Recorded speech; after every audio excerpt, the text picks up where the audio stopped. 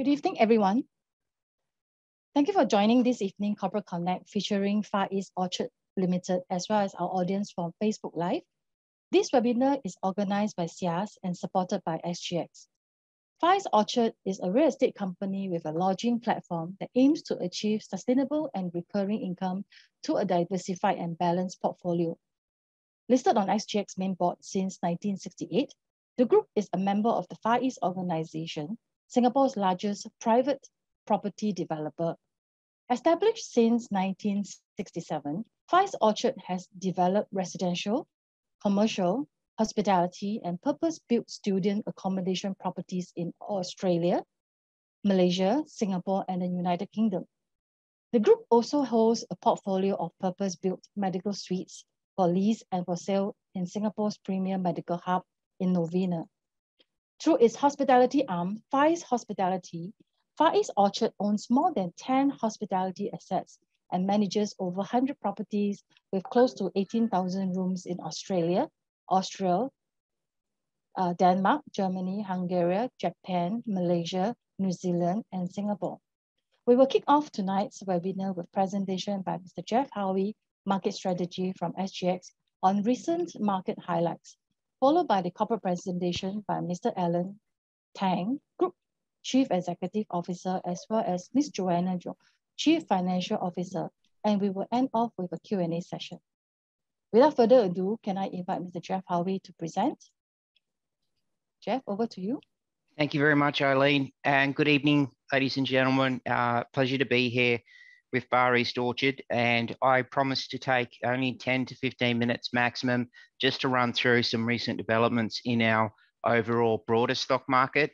As always, just a kind reminder that this is an educational presentation, not providing advice. And straight into it, just to reiterate that the Straits Times Index has been the strongest performing developed market so far this year. So the STI has generated a 5.3% total return as of the close today, while in the meantime, the FTSE Developed Index has generated a 14% decline in total return in Sing dollar terms. So a couple of reasons why this is the case. Uh, at a sector level, technology, which has been the worst performing global sector in the year to date, accounts for 22% of the FTSE developed index, while the sector only makes up 1.6% of the STI via Venture Corp. The focus on increased interest rates has also seen banks as one of the globe's most defensive sectors. Banks make up 45% of the STI compared to only 6% for the FTSE developed index. Now, the trio of OCBC OCB, sorry, sorry, the, excuse me, the trio of DBS, OCBC, and UOB have averaged 5% year to date total returns. They make up 45% of the STI, hence have had a big influence on the STI's 5.2% total return. For the first quarter of this year, combined net interest income for the three banks was 5.4 billion, up from 5.3 billion in the last quarter of last year. Combined non-interest income also grew to 3.4 billion in last quarter, up from 3 billion in the last quarter of last year. So during the 18, first 18 weeks or so for the year, high inflation prints across the world, uh, particularly driven by in, uh, energy prices and supply chain pressures exacerbated by the Ukraine crisis, have seen consensus estimates for the Federal Reserve target band at the end of this next at the, at the end of this year increase from expectations of 75 to 100 basis point band, uh, as we thought at the end of last year, to 250 to 275 75 basis point target band uh, as, as we expect currently for the end of the year.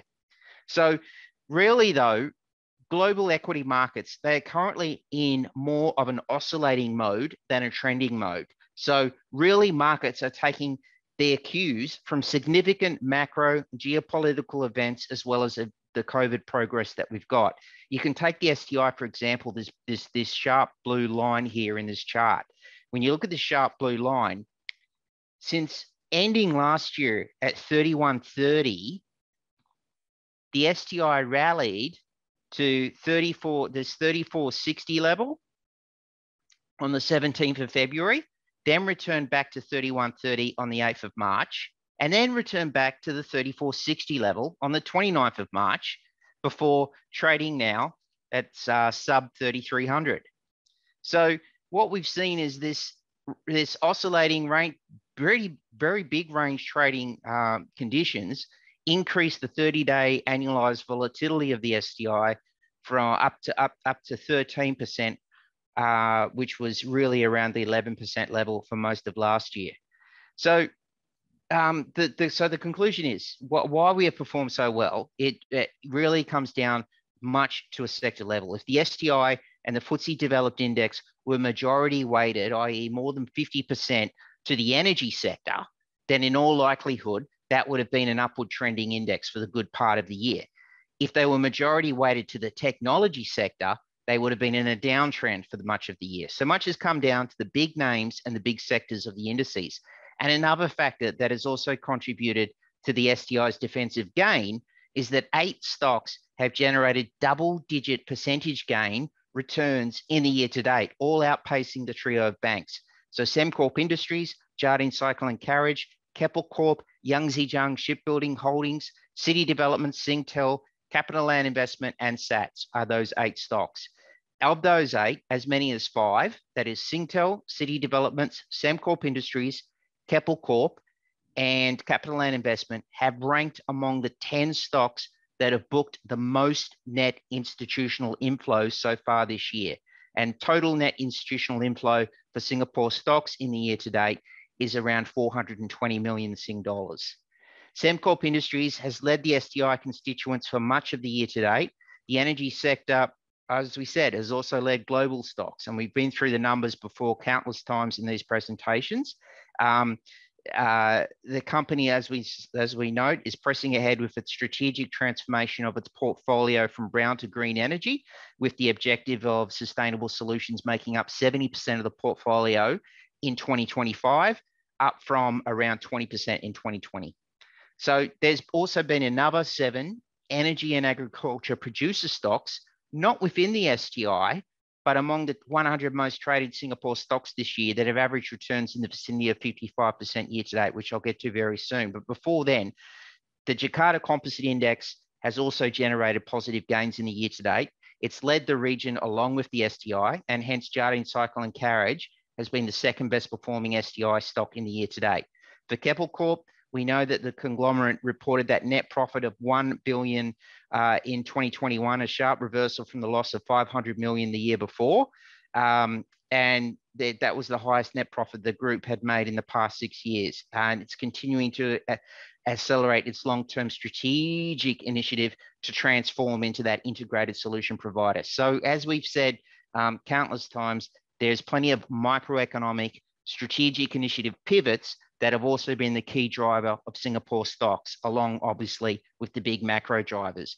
But global reopening momentum has also picked up the pace this year. Global daily confirmed COVID cases are now in the vicinity of 500,000 to 600,000 cases a day across the globe. That is well off the 3.4 million highs that we saw in late January amid the onset of Omicron. And that has provided support to the hospitality and the travel related stocks, such as city developments and SATs, which have also led the STI. And for the real estate sector, we should also add that we're watching other drivers here, such as the response to new launches um, this, this quarter. But the reopening theme has seen Suntec REIT, CDL Hospitality Trust, Far East Hospitality Trust, and Ascott Resident Trust lead the S-REIT sector so far this year. Last year, we saw retail sales reported to be up 9% year on year in March, reversing that 3.5% decline in Feb. Strengths were in, uh, it was computer and telco, uh, uh, footwear and clothing, cosmetics, toiletries, and importantly, F&B was up 5% year on year. Uh, Changi Airport had more than doubled its passenger volumes in April as well. It was at close to 40% of its pre-COVID levels as of the end of April, which is up from 18% in March. It is expected to be reach uh, 50% by year end. And as we said, those, those confirmed global COVID cases are, are continuing to fall And I think it was after the Friday bell last week. Um, Mr. Alan Tang and, and the team at Far East Orchard will talk a lot more about this, but we did see Far East Orchard also report a business update. I think it was after the close on Friday, which with a turnaround profit of 2.6 million for the first quarter of this year, uh, compared to a loss of 0.7 million in the uh, in the first quarter for 2021, partly attributed to an unrealized exchange uh, rate um, move with the strengthening of the Aussie dollar, as well as recognition of the sales of the uh, was it the reversionary interest of Village Residence Clarke Quay. But uh, we've got Far East Orchard to talk a lot more about this tonight. Let me just um, just quickly show the segment of the stock market that has seen much turnover growth and much uh, attention by the investors and really led our Singapore stock market, much like the energy sector and the agriculture sector has led the global stock market. So, as we said, for the first 18 weeks, these energy and agricultural stocks led the global stock market. There's the supply constraints from the Ukraine crisis. Um, and previously, these had also been driven by pent up demand factors as well.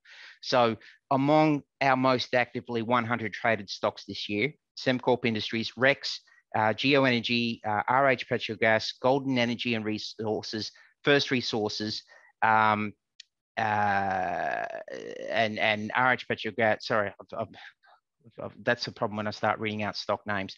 They that looking at the looking at the on the energy side, it's Sembcorp Industry, Rex International, Geoenergy, um, Golden Energy uh, and Resources, as well as RH Petrogas. Those five. They've averaged 77% uh, gains in the year to date. That followed 176 gains the year before. But that's predominantly because Brent crude oil is trading 45% above its end of 2021 levels. While at the same time, our May uh, Indonesia thermal coal futures are also trading 90% above their 2021 levels.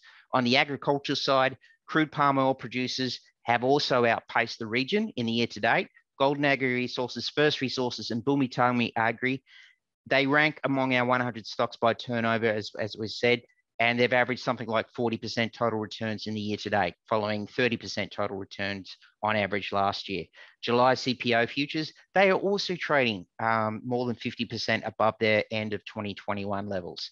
So just on some of the financials for last year, which provided a base for this increase in turnover, basically the combined turnover of these stocks, it went up from $24 million on average a day last year to so far $61 million a day so far this year. So the turnover of these stocks combined has gone up 250%. We had the financials as well. We mentioned um, Sembcorp Industry before, but Rex International recorded revenue. I think it was 150 million US dollars. That was a 240% increase from the year before. So this is for their 2021 year. Um, RH Petrogas, I think net profit was a turnaround as well, 27 million US uh, for last year, a sharp reversal from the loss of 5 million in 2020. Golden Energy Resources had record revenue, I think 642 million dollars uh, US dollars last year. That was up uh, up uh, 110% thereabouts from 2020. And Golden Agri Resources revenue also crossed the 10 billion US dollar level, all time high. Uh, First Resources also delivered record revenue. Um, I think its top line revenue was up uh, 55% year on year thereabouts.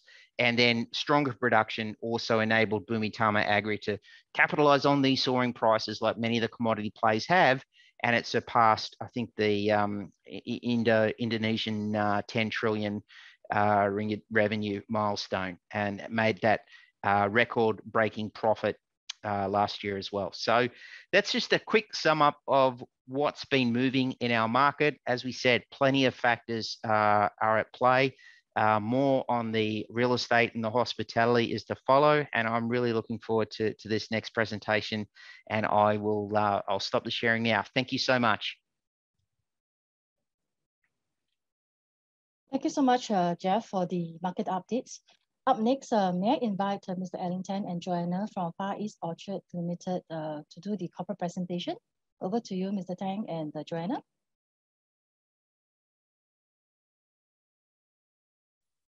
Firstly, I'd like to thank uh, SIAS for organizing this session, and I also like to thank all attendees for taking your time to attend this evening with us. and for being interested to find out more about Far East Orchard. Um, Joanna and I will share uh, more about East Orchard in the subsequent slides. This is our agenda today, and I'll take the first two items on the agenda while Joanna will cover the financial highlights and outlook for the year. All right. East Orchard Limited, uh, which used to be called uh, Orchard Parade Holdings Limited, was uh, previously recognized as a hotel and a property developer. But in 2012, we began our transformational journey where we underwent a strategic restructuring exercise and started the hospitality management business. Over the years, we have taken steps to build up our recurring income base through joint venture partnerships, acquisitions, and entering new markets and asset classes. This is part of our shift towards improving the quality of our earnings by strengthening our recurring income streams through our hospitality and property investment divisions. We have focused on expanding and ex enhancing our recurring income base from our hospitality and student accommodation businesses to complement earnings from our development projects. This enables us to build an enduring business that creates shareholder value. In 2020, we established the FEOR 25 strategy, a strategy that focuses on the two pillars of growth, the hospitality and the purpose-built student accommodation, or PBSA for short, businesses. The unprecedented challenges uh, from COVID-19 over the past two years have affected our two pillars, particularly the hospitality business. But that didn't stop us from continuing our growth in 2020 and 2021. We added a total of uh, 3,000 rooms across 16 hotels in Singapore, Australia, Japan, and Europe. To date, our hospitality management arm has reached more than 100 hotels under our Far East Hospitality umbrella. We continue to remain rooted in our FEOR 25 strategy and gear ourselves towards achieving our FEOR 25 goal.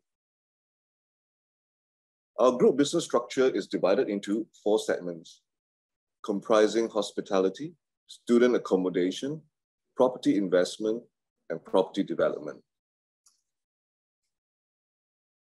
Far East Orchard now is now a real estate company with a lodging platform that aims to achieve sustainable and recurring income through a diversified and balanced portfolio. Focusing on our two pillars, we target to achieve 25,000 rooms for the hospitality portfolio and 5,000 beds for the student accommodation business by 2025. And we will be growing the portfolios through a combination of strategic partnerships, hotel management agreements, and selective acquisitions. This is an overview of our ge geographic, uh, geographical representation of the markets and the segments we operate in.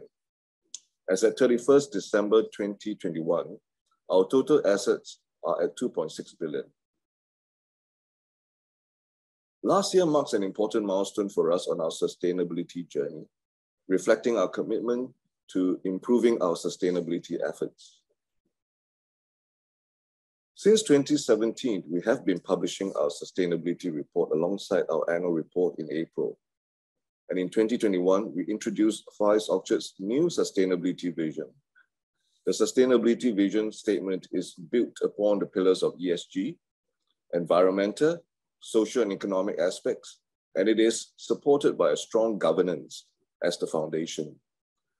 In addition, an important milestone in the group's 2021 sustainability journey is our first sustainability linked loan credit facility of 50 million pounds that we managed to secure in December of 2021. Moving forward, this framework will guide our sustainability efforts and we remain committed to building a sustainable future through our real estate and lodging platform. Let me start with the hospitality business. Our hospitality business is the key contributor to the group's revenue, contributing more than 50% of our total revenue. The hospitality business is organized into three main pillars. The hospitality management runs on a fee-based business model through Far East Hospitality. This business segment accounts for around 10% of our revenue. The hospitality asset houses our owned and leased hospitality properties, and the hospitality investment includes our investment in our Australia hospitality joint venture with the TFE Hotels, as well as our 33% shareholdings interest in the REIT manager of Far East Hospitality Trust. As shared earlier, we are committed to reaching our target of 25,000 rooms by 2025. In our pipeline, we are expecting openings of 12 properties through to 2024, and we are also expanding our geographical footprints into new countries like Switzerland and Vietnam. As at 31st March 2022, we operated over 100 properties and more than 18,000 rooms. While countries are reopening their borders, a full recovery of travel industry may still take some time due to the pressures from existing economic uncertainties. We remain prudent and are actively monitoring these potential markets and will take a disciplined approach towards expansion and acquisitions. Despite the pandemic, we took the opportunity to refurbish some of our legacy properties and did across cross branding with TFE's Australia brands. Efforts to target the Australian market started in 2021 when Far East Hospitality brought uh, the Quincy brand to Melbourne, where we opened the Quincy Hotel Melbourne in March 2021. In the second half of this year, we will bring the brands Vibe Hotels and Adina into Singapore through the rebranding of our existing properties, the Elizabeth Hotel and the Regency House, which is a service residence, respectively. We believe the leveraging uh, on this long-standing collaboration with TFE enables us to look for new growth opportunities and streamline our operations to maximize synergies and efficiencies. These are significant milestones as we continue to pursue partnerships and hotel management agreements to expand the East Hospitality brands in Singapore and overseas. In the first Q of this year, FY22, together with our joint venture, Toga Far Hotels, we opened three hotel properties, each in Sydney, Düsseldorf, and Stuttgart, adding 494 rooms to our hospitality portfolio. We are also expecting two new openings in the second half of the year. On 4th of March uh, 2022, we entered into a joint venture agreement with the Real Hospitality Group Asia Co uh, Limited. Real Hospitality Group was founded in 2010 in the United States and currently operates more than 90 hotels under the white label or franchised brands. In 2020, it has started operations in the People's Republic of China. The tourism industry in the PRC had one of the largest domestic markets in the world before COVID-19, and it is among the earliest in showing signs of recovery during the pandemic. We feel that this is an opportune time to enter the PRC market as it will help the group grow its global presence in a huge domestic market. This JVA is not expected to have any material impact on the consolidated net earnings per share and the consolidated NTA per share for FY 2022. We will continue to push ahead and work towards achieving our 25,000 rooms or 150 properties by 2025 through a combination of strategic partnerships, securing new hotel management agreements, and selective acquisitions. Next, on our PBSA business. Our focus for the student accommodation business remains in the U.K., where enrollment numbers for higher education continue to grow. Since the United Kingdom's removal uh, of its travel restrictions and requirements relating to COVID-19, the Universities and Colleges Admission Services, or UCAS, reported a 5% increase in application from students outside the European Union for the academic year 2022/2023, starting in September of 2022 this year, and these application numbers are still rising. In the recent January application deadline, students' applications from China and India grew significantly by 12% and 11% respectively, with China remaining the third biggest market for the U.K. higher education. As at 31st March 2022, our portfolio has seen reservations for the academic year of 2022 and 2023 of over 80%, surpassing the prior year's reservation at this point in time. The group has uh, been building its PBSA portfolio since uh, FY 2016.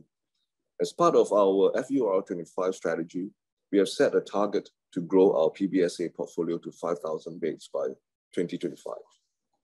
Over the past five years, our PBSA portfolio has increased by fivefold, gearing us towards our target. There also is a very strong investor interest in the sector.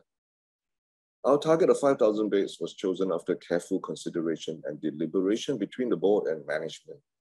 It strikes a balance between a re reasonable growth rate in a post-COVID environment that will expand our asset base and generate stable long-term returns for the shareholders while not being overly ambitious that we may end up too aggressive for asset acquisitions. We remain confident in the UK PBSA sector. I would now provide some quick updates on our property development and investment businesses. We currently have two completed property development projects, Woods Square in Singapore and Westminster Fire Station in the London, UK.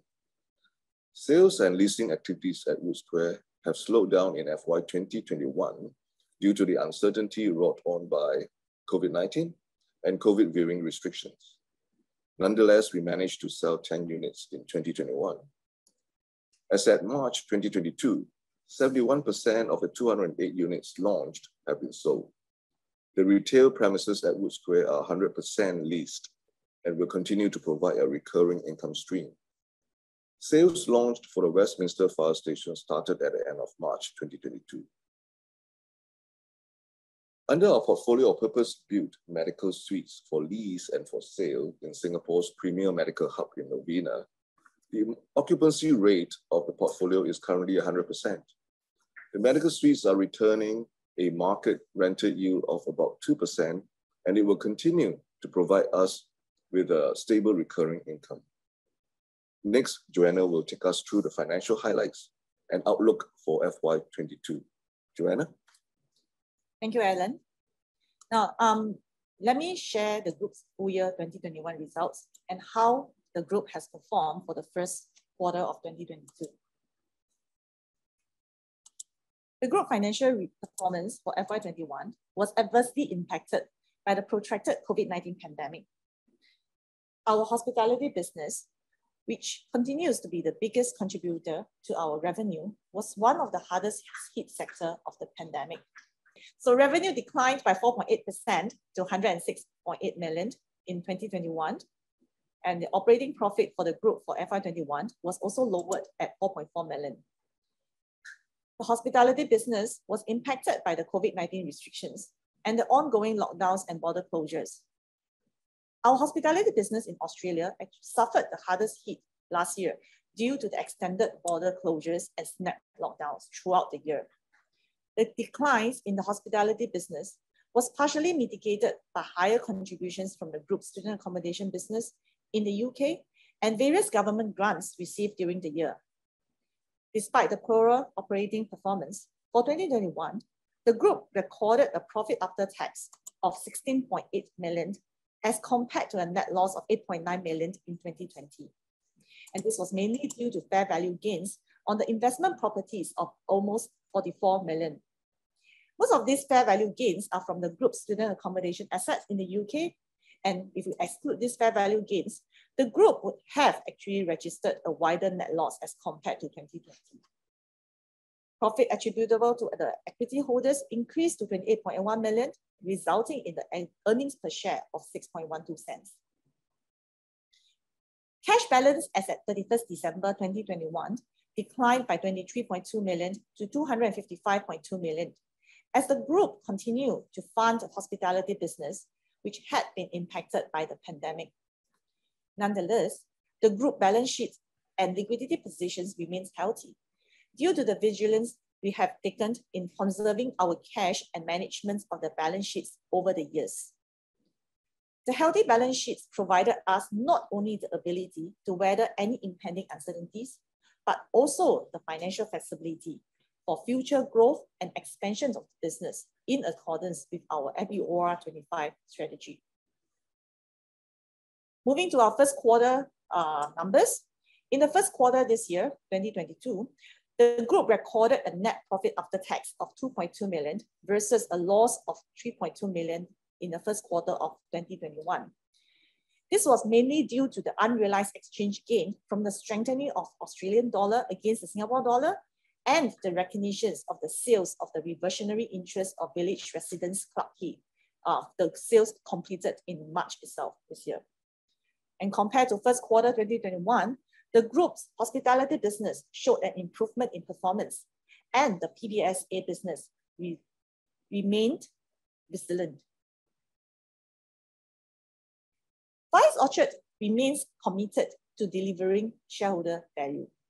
For 2021, the company will be paying a first and final dividend of 3 cents per share, maintaining it at the same level as 2020, despite the group continuing to operate in a protracted COVID-19 pandemic environment. We have been able to tide through the unprecedented crisis thanks to our strong balance sheet. And it is important for us to remain prudent and to conserve financial resources to face the continued uncertainties that may lie ahead and maintain sufficient resources for business expansions and diversifications. 2022 was initially expected to be the year when the global post-COVID recovery gained momentum. However, the outlook for 2022 remains clouded with uncertainties as the geopolitical tensions and the macro environmental factors linger into the year, hampering the overall confidence and the recovery of tourism. On top of that, to counter global inflation, central banks around the world are increasing interest rates, which will inevitably impact our financing costs. Nonetheless, we continue to remain focused on creating a stronger, bigger East Orchard by building a lodging platform that delivers sustainable returns for our stakeholders over the long term. For the hospitality business outlook, tourism continues to be one of the most directly affected sectors by COVID-19. Full recovery is expected to be at least two years away. At the start of 2022, international tourism took a pause in the gradual recovery with the Omicron variant outbreak earlier this year. As of now, more countries are easing or lifting travel restrictions. Let me share briefly the outlook in each of our key markets, namely Singapore, Australia, Germany, and the UK. Singapore has fully reopened borders to all fully vaccinated travelers, including the land borders between Singapore and Malaysia from 1st of April this year. We expect businesses from the government isolation business and the movement control order, which is MCO we call it in Singapore, to decline sharply. In addition, despite the opening of the international borders, China, being one of Singapore's key inbound source markets, still has its border closed. Thus, this will affect Singapore tourism recovery. For Australia and Germany, the strong domestic markets will continue to stir the recovery of these two markets.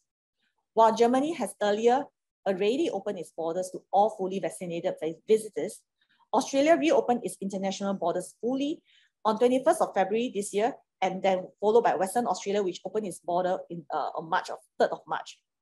We are witnessing a positive trend in domestic bookings in Australia.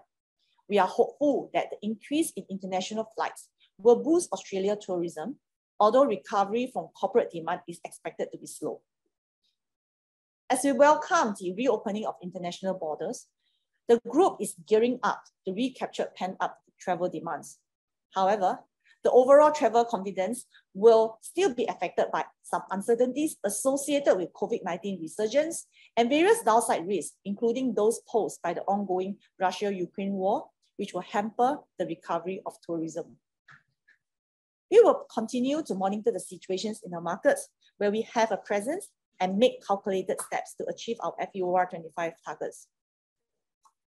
As for the PBSA outlook, the easing of the UK COVID restrictions and the positive student demands from both domestic and non-EU international students will continue to drive the performance of this business segment.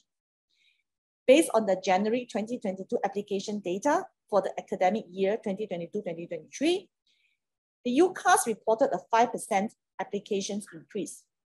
International students who are likely to live in PBSA were 4% higher than last year.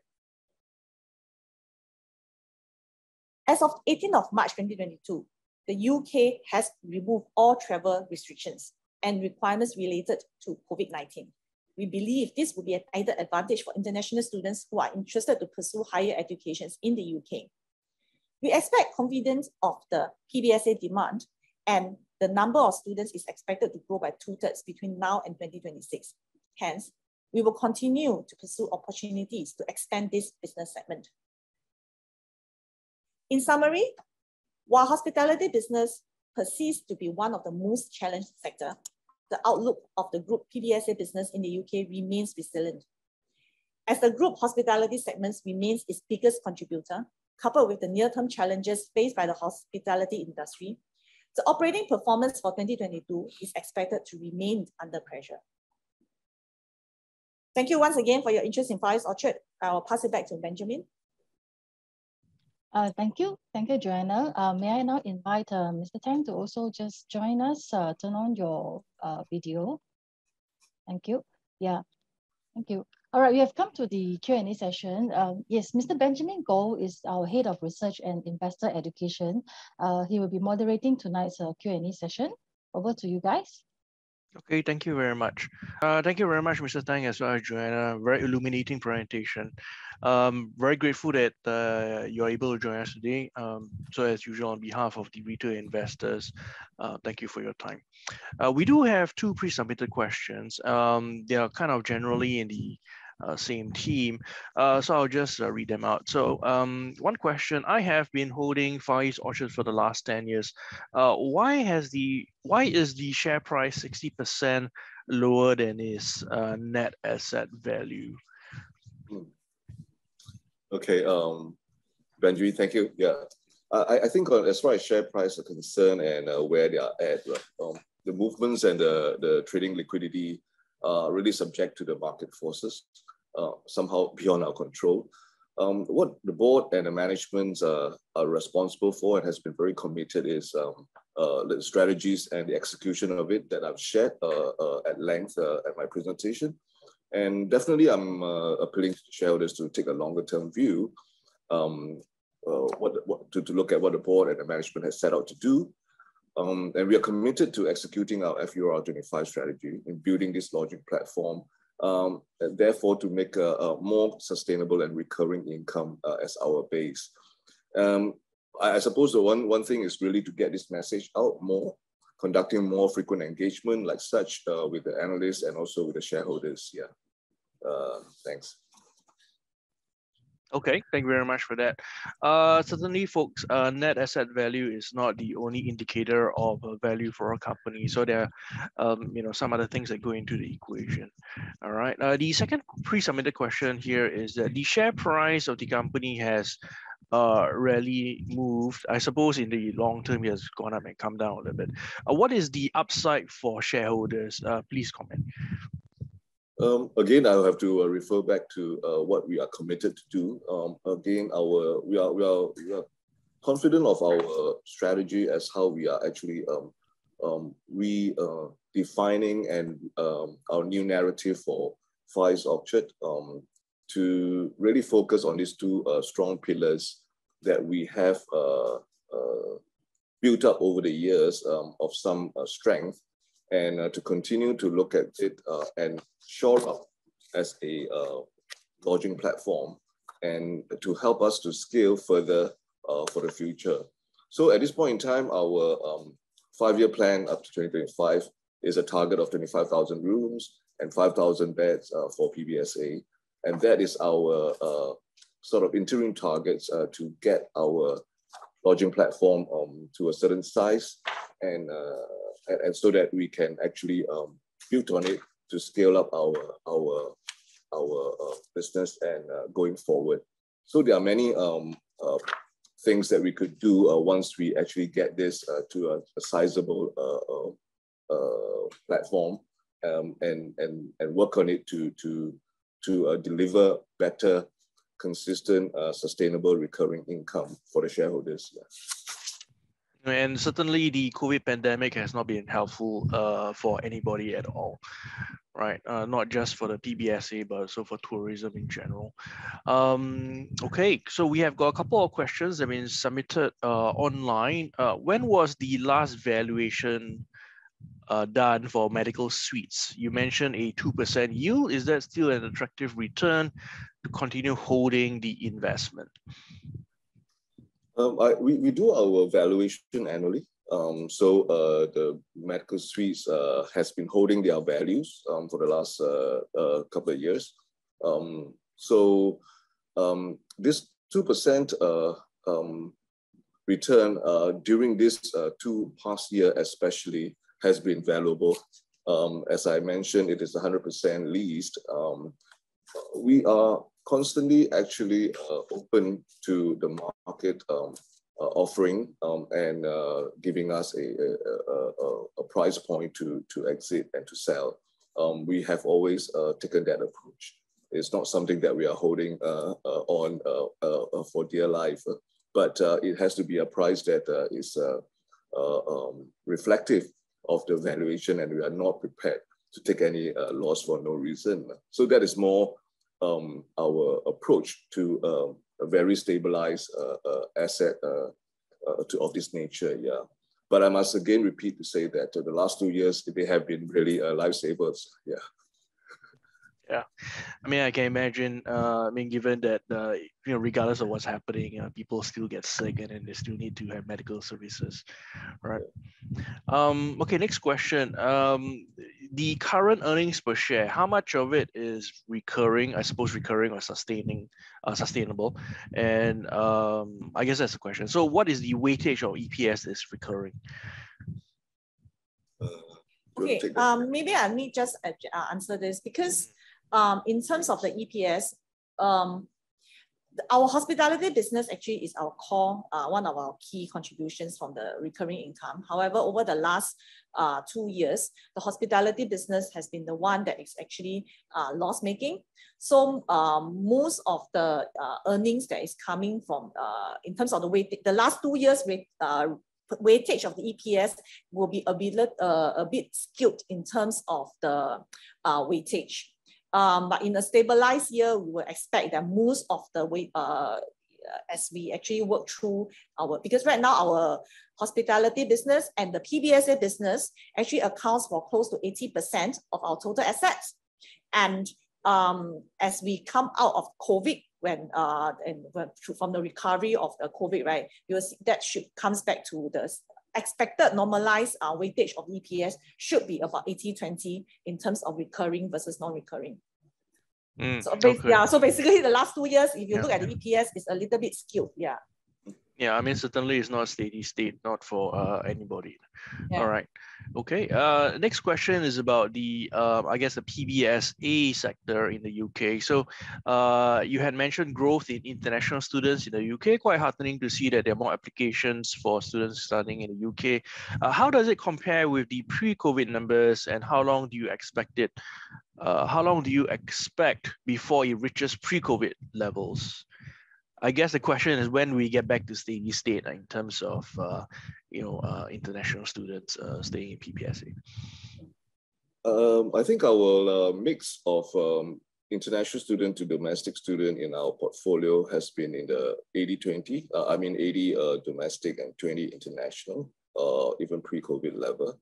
Um, so um, that that that component is therefore um, not the largest uh, but yet, um, i uh, I think I've uh, stressed that at this point in time, uh, uh, even as we are looking at the the, the, the, the bookings and the reservations, it is actually already um, pretty much at the pre-COVID level.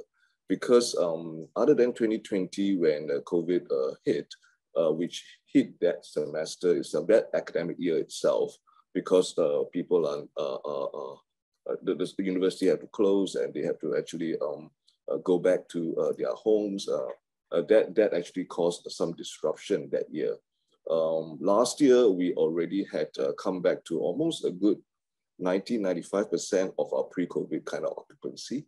Uh, and uh, this year, at, as, as I shared uh, earlier, the, the, look, the bookings on the book for the next FY 2022-23 is very, very encouraging. we almost uh, probably uh, uh, we, we can uh, pretty much say that we are very confident in hitting our pre-COVID level, if not surpassing. Yeah. Mm, so that, okay, that's a very encouraging news. Um, certainly a very good uh, positive um, I guess, factor uh, in the favor of uh, East Orchard. Um, so I do have a question, um, you know, from myself. So you had mentioned in your PowerPoints that um, uh, you are going to be investing quite a fair bit in the PBSA sector, right? Um, so my question relates to uh, funding. So given the you know high interest rate environment, uh, as well as uh, I guess volatility in capital markets, um, could you explain a little bit on your um, I guess your funding model? Uh, how do you intend to fund the expansion in your um, assets? Hmm. Um, I I think the the the the plan that we have put together, uh, our strategy uh, together with the board, uh, take into consideration our capital structure and what our balance sheet has, um, which again um, explains why we uh, take a lot of care and pride in uh, our um, cash holdings uh, and the lines that we have. Um, and we know that within this possibility and these capabilities, we are able to reach the target that we have set ourselves for uh, to reach the 5,000 beds. So that's not an issue. Um, so so uh, suffice to say, we are able to uh, reach that target um, without having any issue on uh, on on the on, on our capital yeah um, structure in our current balance sheet. Yeah. Mm, okay, uh, that's very encouraging news.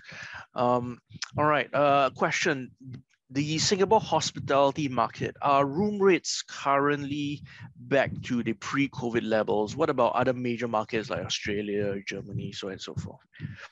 Uh, I think uh, if I say it is, I think you will not believe me. Like, yeah. So, so uh, it is a, a given that uh, we are still not uh, covered, um, mm-hmm. and therefore the room rates are still uh, shy of where we are. But I think for the hospitality sector, um, more often we will be looking at uh, a RevPAR, yep. which is the combination of the rates and the occupancy.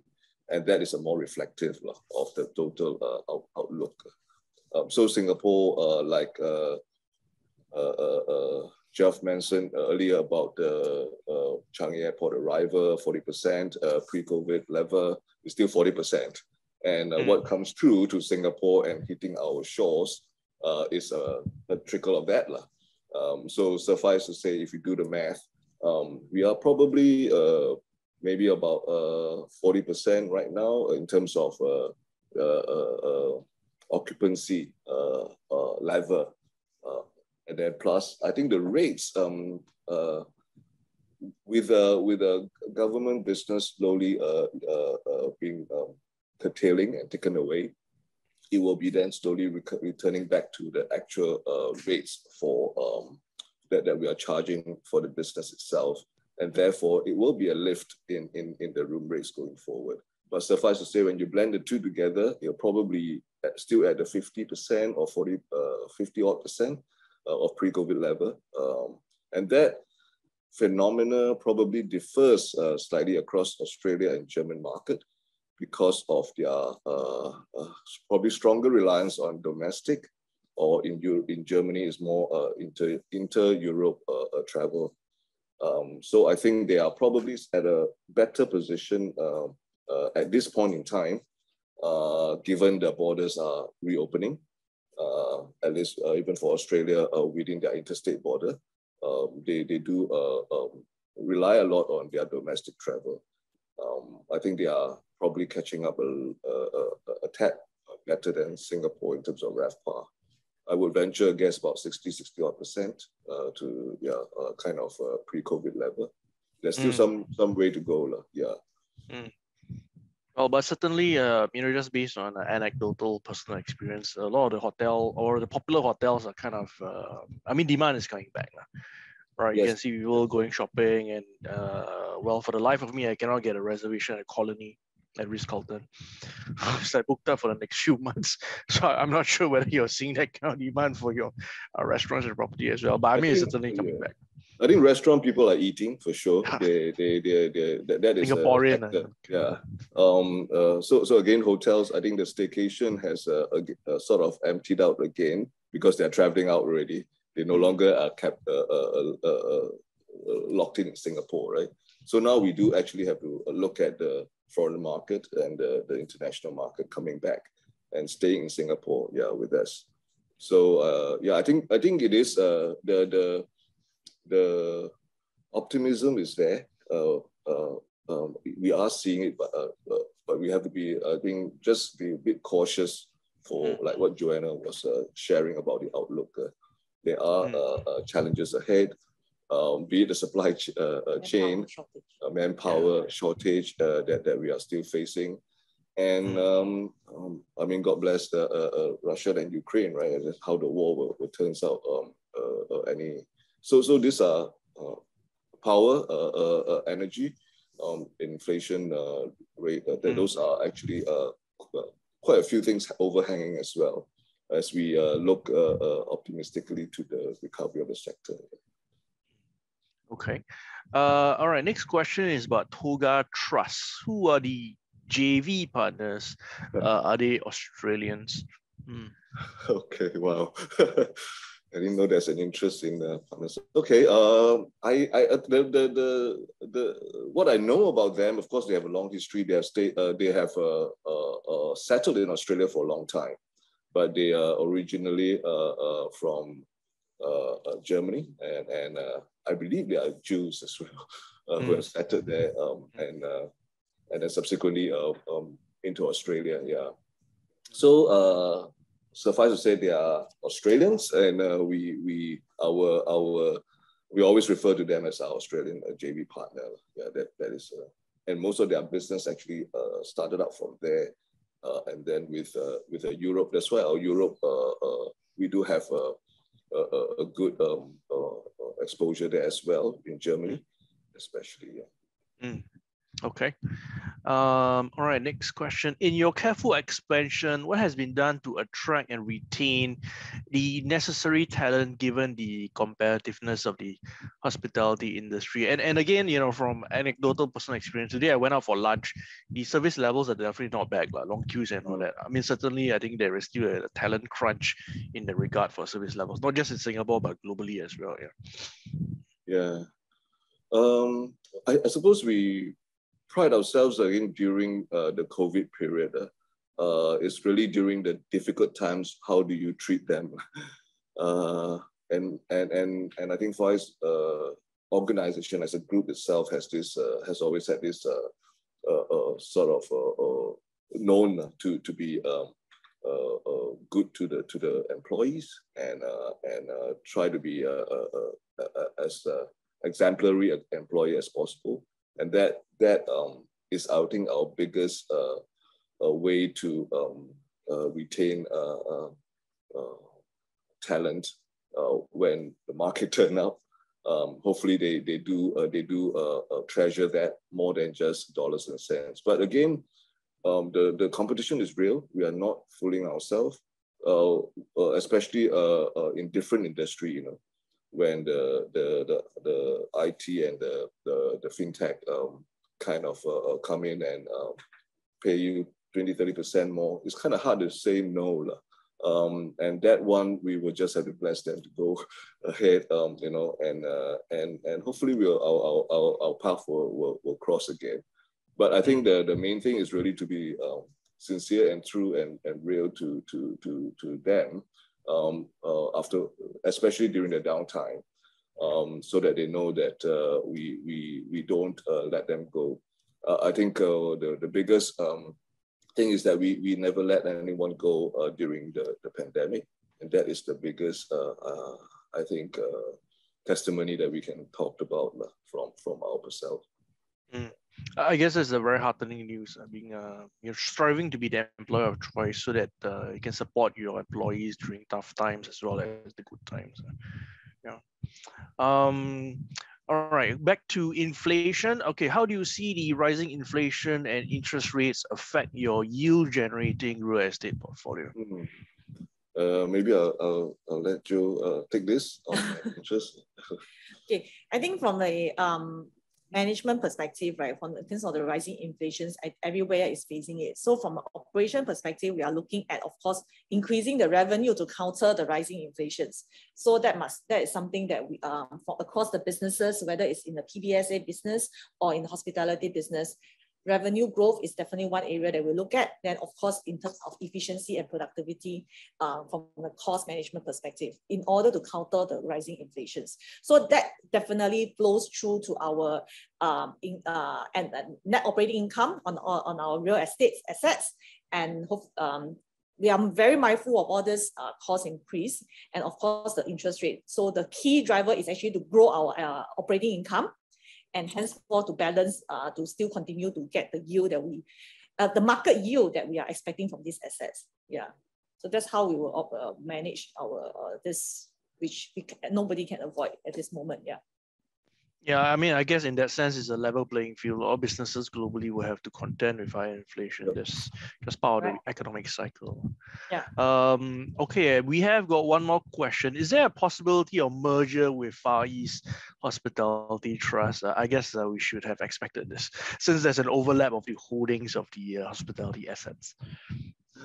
Uh, well, um, I think Far Hospitality Trust is uh, set up for a uh, reason. Uh, is uh, is again to avail themselves right to to to the to the retail investor uh, for um, owning a piece of uh, assets and the business. Um, in fact, all of Hospitality Trust assets are actually managed by our management arm. Um, so the the I, I, wouldn't say there's overlapping of uh, holding hospitality assets, but actually there is a complementary. Uh, we uh, managed um, one of uh, uh, Far Hospitality uh, is the operator, and we managed uh, the assets that they own. Um, again, from our perspective, as I shared earlier in our FEOR 25 strategy, while we focus on the hospitality business and building that platform, uh, it is actually the operating platform that I'm also uh, focusing on and building the capabilities of brands and delivery of uh, service standards uh, across uh, Singapore and the region. Um, so uh, that, that actually is a quite a different business in and of itself. Um, and, and we can scale that and we can manage any other assets holder or rather owner, not necessarily FEHT, um, and, and, that is actually uh, what we are doing now with uh, with several of our overseas assets, right, with different owners. So I, I think just want to clarify that our business actually doesn't overlap, and it's quite clear direction as to where we are taking the, the different entity. Yeah. Mm. Okay. Uh, and uh, we do have one last question. Uh, the new pipeline of rooms in Switzerland and Vietnam, um, why in this relatively new market by the management? I guess the question is why invest or you know set up shop in Switzerland and Vietnam? I, suppose it dovetails very nicely to the earlier part that I just talked about in explaining our business. These are not investments that we made in the asset itself. It is actually management and operating uh, uh, uh, uh services that we are providing. Um, so both the Vietnam uh, assets, like I said, is a different owner Uh, in Vietnam that uh, we had, uh, uh, uh I mean, won the management rights to. and it is a new market that we will we are interested in because Vietnam, just like I think China, Indonesia has very strong domestic market and that is actually how we are seeing during or we learned during the the COVID uh, uh, uh, the past two years that the um, the, the, the importance of domestic market in in in in keeping the the industry going. Um, kind of unlike Singapore, which is uh, one that uh, no matter how we're just looking at the staycation of the Singaporeans, and that is not going to suffice see, uh, in, in propping up the, the, the industry. So um, Vietnam is, is one of the key market that we are looking at expanding further. This is just a toehold. Uh, we, we will uh, spend more uh, time to build that up based on this uh, this uh, this uh, entry point, so to speak. Yeah. So Switzerland similarly is actually a, a, drive out of our TFE JV out in Europe. And they are looking at, uh, uh, they, they definitely look at uh, regions around Germany uh, as their base uh, to, to, to, to reach out. Yeah. Okay. Well, I mean, for my part, I'll certainly support uh, East by eating out more as well as doing on staycations. There's a lot of pent up demand in my household for those been locked up for too long. Uh, so thank you very much, Mr. Tang, as well as Joanna. So jokes aside, very appreciative for your time this evening. Uh, I think we've got a very good mix of questions, and certainly you've provided a lot of uh, clarity to some of the to the questions that the uh, viewers had. So thank you very much. Mm, thank, you. thank you. Yeah, hopefully there's a there's a, a, a help to clarify um, some of their doubts and their uh, their their yeah. Um, you know, just as a kind of a um, advertising for SIAS, we do really hope to see um, you know Far East Orchard more often because certainly there is a good story emerging, um, especially once uh, you know we head back to a steady state uh, pre pre COVID levels, right? So we certainly will be looking forward to seeing how Far East um, you know uh, evolves over time. Yeah. yeah so uh, yeah, so we do uh, I guess pre-invite you for some future talk as well, maybe six months later or something. Thank you. I'll be happy to uh, to to to uh, keep um, uh, the shareholders uh, and see us uh, abreast of our development and our growth. Uh, that's again, hopefully that messaging will help to move the share price. I don't know. yeah. Uh, Eileen, over back back over to you.